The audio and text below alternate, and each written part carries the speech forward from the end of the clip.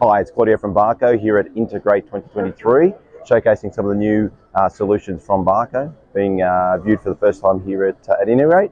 On my left here is the new LED NT series, entry level, slim profile SMD, uh, featuring the Barco Infinipix LED controller.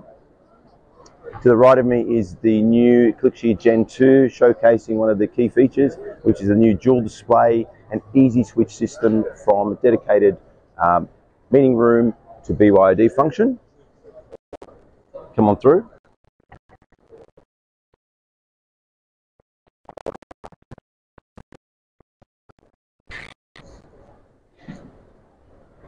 So here we're showcasing our core range in our both our Smartline and flagship series projectors, all DLP. Uh, what's new for Barco is an extended range of our single chip DLP coming from the G100, in a 22, 19 and 16K variant.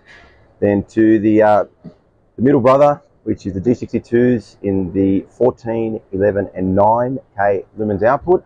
And for the first time showcasing is our new form, small form factor G50 series.